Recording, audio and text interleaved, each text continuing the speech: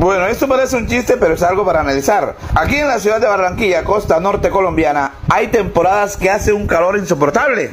Y en una de esas épocas de calor, conversaban dos amigos y le dice uno al otro, compadre, ¿qué le pasa? Que lo veo preocupado. Y le dice, no es para menos, mi papá sufre de la presión arterial. Y desde ese tiempo me venía diciendo que le comprara un acondicionador de aire porque con esos calores tremendos se le podía ocasionar un infarto.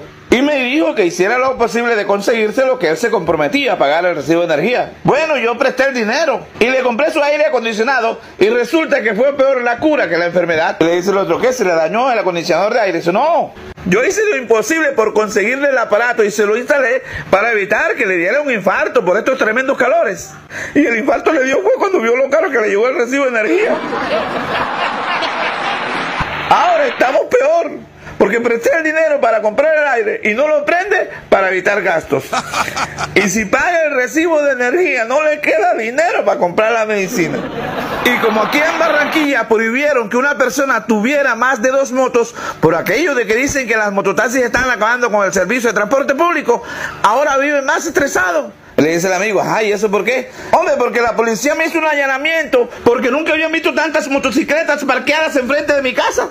Dice el amigo, ah, te metiste a negociante de motocicletas. Y dice, no, eran 17 gotagotas cobrándome el dinero que presté para comprar el aire.